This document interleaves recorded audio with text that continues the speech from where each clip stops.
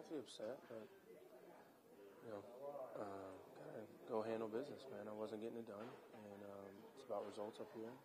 Um, it's about winning, and um, you know, one putting the results on the field, and one doing my job. So I gotta go down there and kind of regroup. I'm taking it as a kind of regrouping uh, process for me. Um, just go down there, regroup, and I'll be back soon. I feel like it just need that, like just take a break mentally, just to kind of refocus. I mean. Just need to, uh, you know, go down and, and do what I know how to do and refine that and get back up here and continue to help these team, this team win.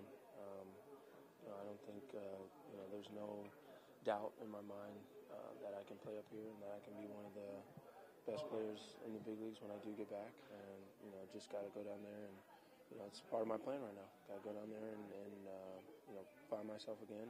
Like I I'll be back soon. Does it take any of the pressure off knowing you can go down there and work on a couple of things, or does it feel a little bit more pressing in wanting to get back up? Um, you know, any pressure I put on, it's definitely for myself.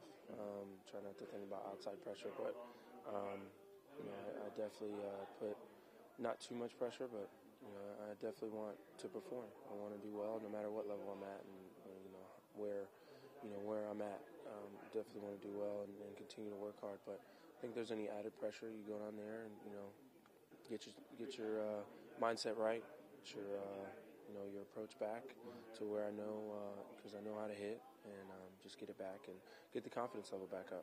Can you pinpoint uh, what's going wrong? I'm just not getting done.